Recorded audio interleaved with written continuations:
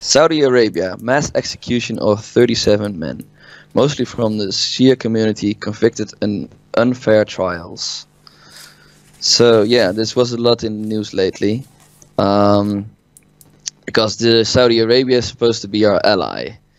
Um, Who's ally? so You're from. uh, ally of the United States and several but you're other not. But not, we're not from United. I'm from Canada. You're from Netherlands. I know. yeah, your your country has actually taken a very good, uh, brave stance. And, Not uh, brave. Canada didn't take a brave stance against Saudi Arabia. They, they only started taking a br- brave, so-called brave stance against Saudi Arabia when it became pop, uh, when it become you know more popular to do so. After like all the people being killed in Yemen was not like enough to make it popular to be anti-Saudi Arabia, but Khashoggi, like okay, Yeah. now you crossed the line. Now you cr- now you now you killed a semi-Westerner. Now it's popular. Now people start talking about it, and Canada like, okay, we're gonna take the brave stand. I mean, better late than never, I guess. But go on. Sorry.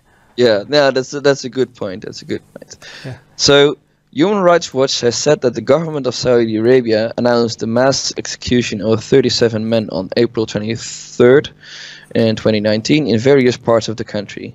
At least 33 of the 37 were free from the uh, country's minority Shia community and have been convicted following unfair trials for alleged crimes, including protest-related offenses, terrorism, and espionage. Terrorism is the favorite in Iran. The, Yeah. fav- the favorite go-to crime for for uh, take uh, for taking away political, uh, for killing political, um, you know, uh, protesters is spy. You're a spy. In Saudi Arabia, is you're a ter- you're a terrorist or something like that.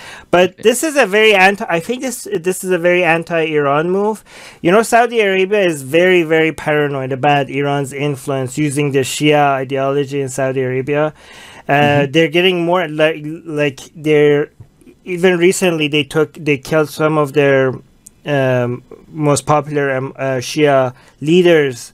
Uh, yes, there was a cleric executed. Yeah. yeah, yeah, and you know this is, getting worse and worse. This is actually this 37 at the same time. This is even for with Saudi standards. This is an uh, this is pretty uh, barbaric. I, I mean, and also as some of these some of these people that were arrested, the crimes that they the so-called crimes that they committed were done when they were minors, right? And um, and Yeah. some of them, some of the 37 men that were uh, killed, like the the trials was a was a fucking joke. But they they did you know that they actually crucified them in public for other people to see?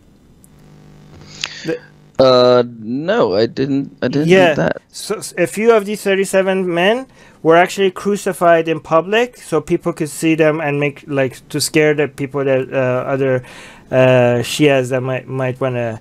One of them wa- almost ran away. Isn't that in the su- in the su- uh, in the summary? No, the the like the article from Human Rights Watch does mention that uh, that some of them were beheaded.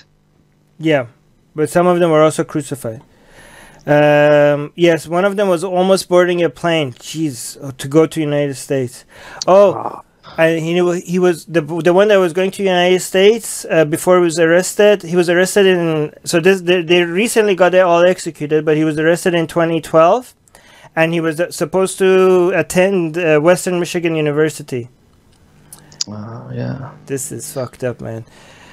Yes. Um, yeah, Uh, it really makes me think of the the woman who uh, escaped to the Philippines, but then was arrested by her uncles and taken back.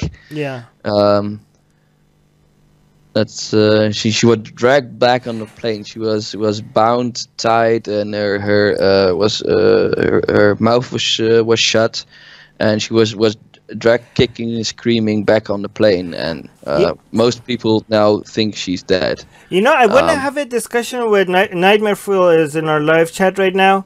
I, I uh, go check out his YouTube channel. It's very good. Um, I think me and him have some um, foreign policy disagreements on some of these stuff, and I would like to have a discussion about him with um, because this is um, this is something I think United States uh, gets really uh, wrong, especially with Saudi Arabia. I mean, if this was done by Iran, um, United States right now would be all over this, and rightfully so, right?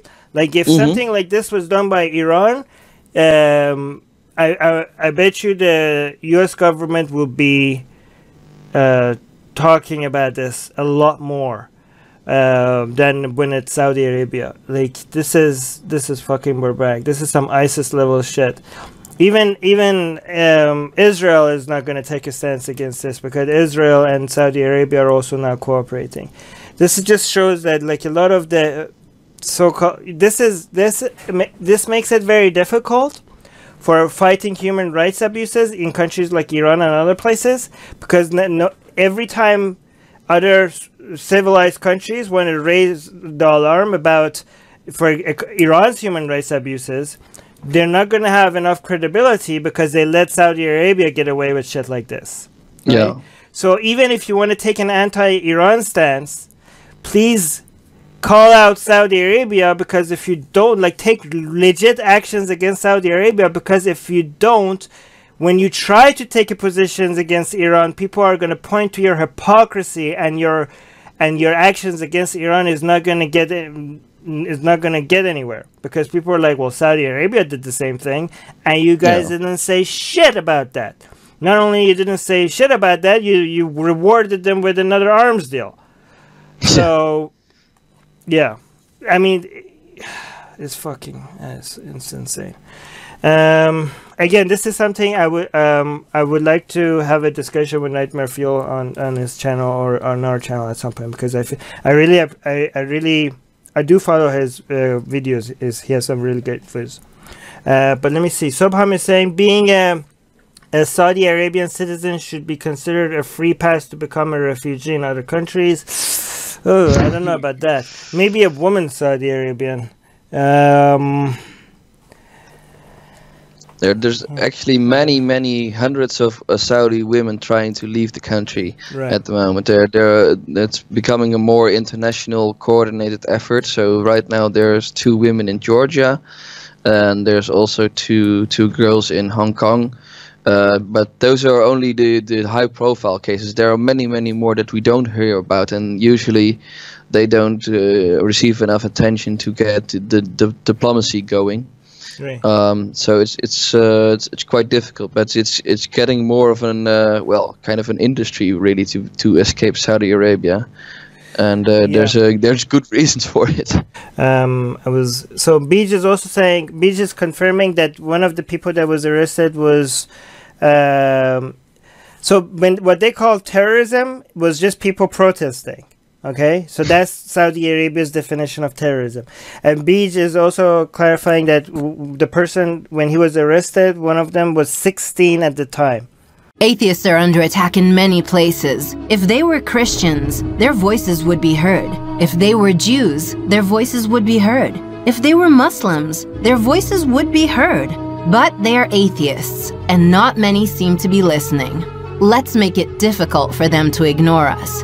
We have built a global community, and now we are tearing down geographic, cultural, and language barriers so we can find each other and support each other. In the last decade, we have built the largest atheist community in the world. Now we're doing the same in other languages. With your help, we have started Atheist Republic in Persian and Arabic. انضميت مؤخرا لأسرة Atheist Republic وحيصير عندي بودكاست باللغة العربية. As we grow, we can dedicate more time, staff, and resources to start doing the same in Spanish, Portuguese, Malay, Bengali, Urdu, Hindi, and other languages. We are providing community, support, informative content, and amplifying the voices of those who need protection, especially in countries where people feel isolated simply for their lack of belief. We want to be there for them, and we are only getting started. Help us get there. Check in the description for ways you can support our projects.